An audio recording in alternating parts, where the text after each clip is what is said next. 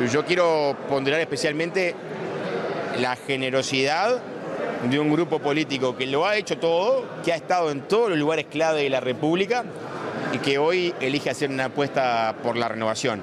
Se lo agradezco a todos en, la figura del mono, que es este, evidentemente el que está liderando esto hoy. Tuvimos un especial recuerdo para con Jorge Valle, que creo que lo merece.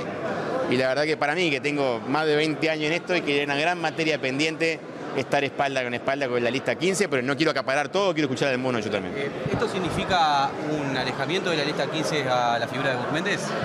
Mire, eh, nosotros hemos estado siempre en la 15, en el Partido Colorado y en la 15. ¿Dónde lo van a encontrar siempre?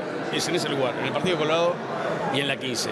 No nos fuimos de ningún lado, solamente nos acercamos al candidato que ganó, que ganó las elecciones internas del Partido Colorado y al que ganó eh, hay que respetarlo.